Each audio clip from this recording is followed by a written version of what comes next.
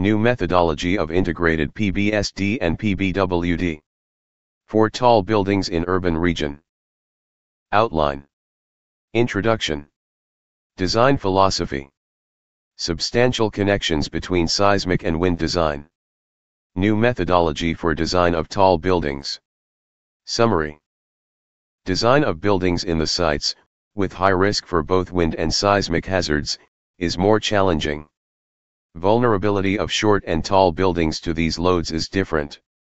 In general, excluding the local impact of wind loads such as imposing damage on the attachment of roof. Shorter buildings more sensitive to seismic load. Taller buildings more sensitive to wind load. Earthquake action on the building. Dynamic force. Induced inertial forces in structural members. Wind flow action on the building. Aerodynamic force, mean and background component of wind load. Direct action of wind pressure on the building. Dynamic force, resonant component of wind load. Induced inertial forces in structural members, similar to seismic load. An essential difference between resonant wind load and seismic load. Wind load has larger energy at lower frequencies. Seismic load has larger energy at higher frequencies. Seismic design.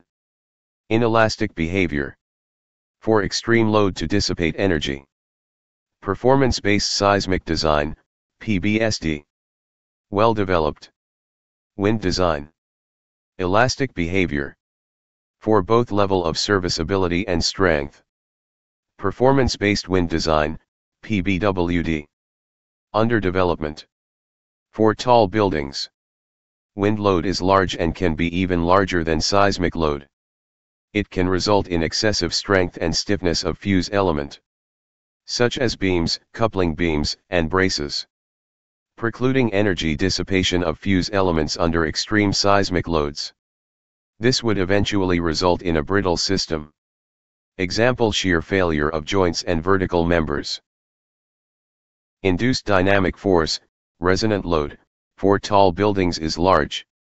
Especially for a crosswind and torsional wind loads it is a considerable potential to reduce resonant load through allowance of inelastic behavior.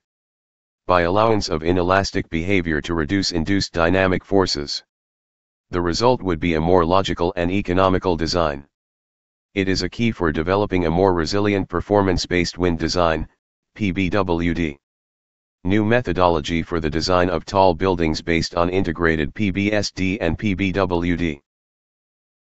Performance levels based on the level of damage in structural and non-structural elements, or both. O. Operational, no damage in both structural and non-structural elements. IO, immediate occupancy, initial yielding. LS, life safety, plastic mechanism starts to progress. CP, collapse prevention, strength degradation. Seismic design. DBE, Design Basis Earthquake, LS. MCE, Maximum Considered Earthquake, CP. Wind Design. Service Load, Serviceability Design, O. Ultimate Load, Strength Design, IO. Seismic and Wind Performance Ranges. For an idealized system. Elastic wind design and inelastic seismic design. Entire ductility of structure is allocated for seismic design. Wind and seismic hazards are independent. Low natural frequency, larger wind load. High natural frequency, larger seismic load. Stiffness is controlled by serviceability limit. Yield strength is controlled by strength limit. In current practice, elastic wind design and inelastic seismic design Structural response under wind and seismic loads should be calculated individually. Buildings are designed for the maximum value, not both at the same time. This approach can be interpreted as in the following scenarios. Scenario 1. Extreme expected wind. Elastic behavior. No structural damage, IO. Ready for next hazard, wind or earthquake. with full structural capacity, strength, ductility, etc. Scenario 2. Extreme expected earthquake. Large inelastic deformation. Serious structural damage, LS/CP. Loss of most of structural capacity. Substantial retrofit or rehabilitation. Required to withstand future hazards. Consideration towards seismic hazard is dominant in this current approach. The current practice. For short and mid-rise buildings with large seismic demand, very effective. For tall buildings with large wind demand, controversial. For tall building, all components of wind load are large, mean, background, and resonant.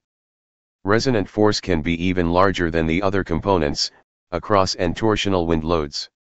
It can be reduced through allowance of inelastic deformation, similar to inelastic seismic design. Mean and background loads are direct forces and cannot be reduced by this approach. The idea of inelastic deformation may not be practical, if the resonant force is small, short and mid-rise buildings. Large inelastic deformation should not be allowed. Damage accumulation. Due to presence of mean load, especially for along wind load. Low cyclic fatigue failure. Due to long duration of wind event, usually one hour or longer. Earthquake event is usually less than one minute and low cyclic fatigue is not a serious concern. Tall buildings are always designed for seismic load the structure already has a reliable ductility. Small portion of the ductility capacity can be allocated for wind design. Structural performance levels, SPL, based on ASCE 41 to 17.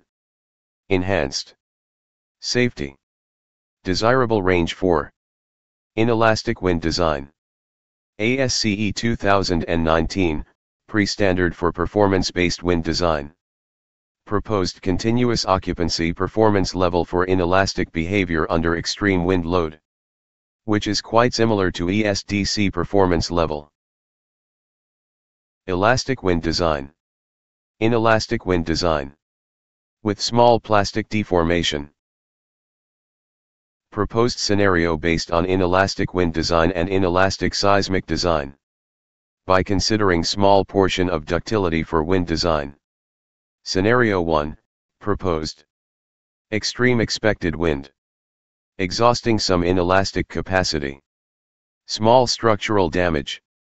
Between IO and ESDC.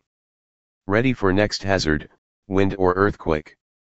Just small portion of structural capacity is lost. With basic retrofit the structural capacity can be almost recovered, if it is necessary. Scenario 2, proposed. Extreme expected earthquake. Large inelastic deformation.